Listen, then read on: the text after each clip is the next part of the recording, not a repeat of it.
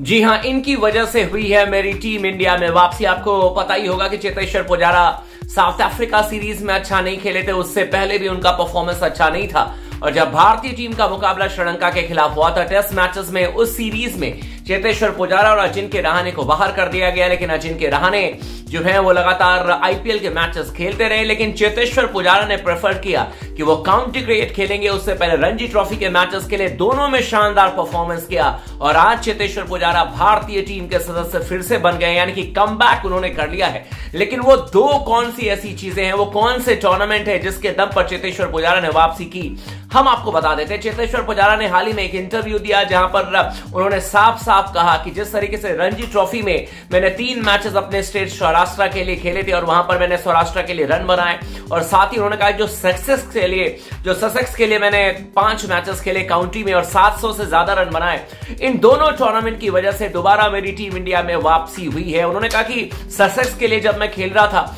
तो मुझे लग रहा था कि वाकई में अच्छा सब कुछ रिदम चल रहा है, सब कुछ बेहतरीन है।